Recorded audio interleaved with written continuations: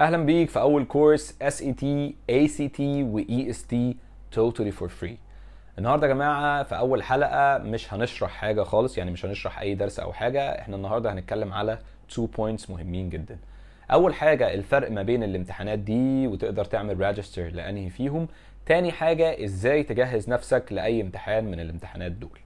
طيب نيجي لأول point إيه الفرق ما بينهم؟ هنحط ال EST وال SAT مع بعض. ليه؟ لأن الاثنين زي بعض بالظبط. حتى ال format أو ال layout بتاع الامتحان زي بعض بالظبط. الفرق إن ال SAT تحت إشراف ال College Board وال EST تحت اشرافنا إحنا هنا في مصر. ال EST اتعمل بعد التسريبات اللي حصلت لل SAT طبعا أكيد أي حد American Diploma في grade 12 مثلا دلوقتي أكيد عارف اللي حصل وهو أكيد مر بنفس المشكلة إن هو قاعد يذاكر وفي الآخر الامتحان اتلغى. فهنا في مصر وزارة التربية والتعليم قررت إنها تعمل امتحان زي ال SAT بالظبط بس يبقى تحت إشرافنا إحنا بحيث إن الطلبة اللي بتذاكر دي مجهودها ما يروحش على الفاضي. فمن الآخر يعني ال SAT وال EST زي بعض بالظبط. تمام؟ مفيش أي فرق ما بينهم تماما. ال ACT هو اللي مختلف شوية. مختلف شوية في إيه؟ في uh, في ال layout بتاع الامتحان لكن مش مختلف في ال topics اللي انت هتذاكرها. أنا بتكلم في ال English مش في ال math تمام؟ ففي ال في, في ال English ال topics اللي انت هتذاكرها في أي واحد من الامتحانات الثلاثه دول هي هيها بالظبط ال topics اللي هتذاكرها.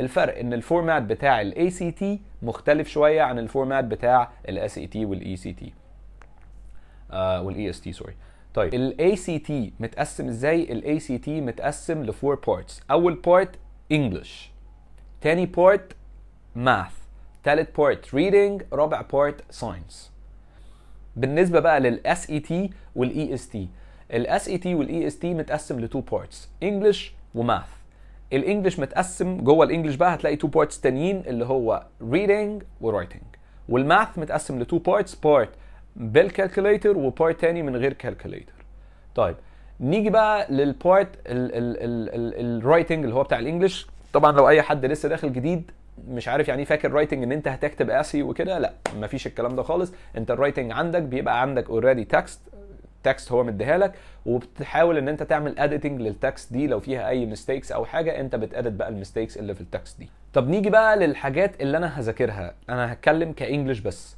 ك English يا جماعة ال topics اللي هتذاكرها سواء في ال ACT أو في ال SAT أو في ال EST ال topics واحدة. مفيش أي topics تانية ده English فال English واحد بالذات في ال writing الأسئلة بتختلف شوية في الامتحانات لكن ال topics اللي هتذاكرها هي هي طيب انت بقى تعمل register لإيه؟ والله على حسب انت داخل جامعة فين. لو انت داخل جامعة هنا في مصر يبقى انت لازم تاخد ال EST لأن خلاص ما عادش معترف. آخر آخر trial اللي هي ال trial بتاعه شهر سبعة دي بعد كده ما فيش خلاص ACT هيبقى الجامعات المصرية كلها هتعترف بال EST بس ولا ACT ولا SAT طيب لو انت راجل هتسافر بره ممكن تاخد أي حاجة من الامتحانات دي ممكن تعمل register بره وتمتحن وتخش الجامعة اللي انت عايزها بره لأن هم معترفين طبعا بال SAT وال ACT فطبعا على حسب انت محتاج إيه على حسب انت هتعمل register لإيه.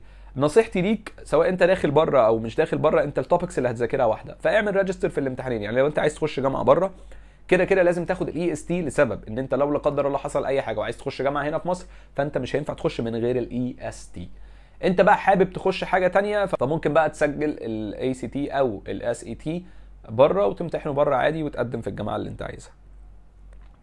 طيب نيجي بقى لل point الثانية وال point الأهم اللي هو إزاي أجهز نفسي لأي امتحان من الامتحانات دول. إحنا زي ما قلنا عندك two parts عندك part ال writing و part ال reading في الكورس اللي إحنا عاملينه ده اللي هو هيبقى حوالي من 20 ل 25 episode يعني حوالي 20 حلقة أو 25 حلقة إحنا ليه مركزين على ال writing؟ عشان ال writing اسهل شوية ان انت تجيب بيه درجات. ليه؟ لأن انت بتاخد شوية rules وبتطبقها. غير ال reading ال reading mainly انت بت comprehend English ولا لأ؟ عشان كده بنقول على ال reading ان هو مش عادل شوية. يعني ممكن حد تلاقيه بيذاكر كتير جدا بس هو ال English بتاعه مش حلو. فيخش وما يعملش كويس زي واحد مثلا مش بيذاكر قوي بس ال English بتاعه حلو. يعني بيقدر ي comprehend English كويس. طيب السؤال بقى إزاي اجهز نفسي لأي امتحان من الامتحانات دول؟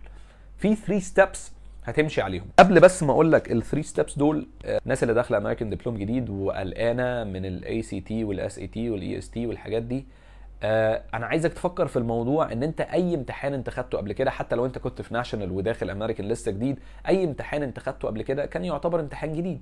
لو حليت كويس فيه معناه إن أنت ذاكرت ال topics اللي related للامتحان. لو لا قدر الله حليت وحش معناها إن أنت ذاكرت حاجات مش related للامتحان. نفس الكلام بالظبط هينطبق على ال SAT لو أنت ذاكرت الحاجات ال related إن شاء الله هتحل كويس. طيب السؤال بقى إزاي أجهز نفسي لأي امتحان من الامتحانات دول؟ في 3 steps لازم تمشي عليهم. أول step هتذاكر ال topics اللي related للامتحان. هتمسك ال topic كده كل topic topic لوحده هتذاكره لوحده. إحنا عملنا لكم تقريبا 25 sessions هتاخد ال topics دي ال heading كده لو انت ما فهمتش مني هت search على أي حد تاني عامل videos related لل topic ده وتحاول ت master ال topic ده.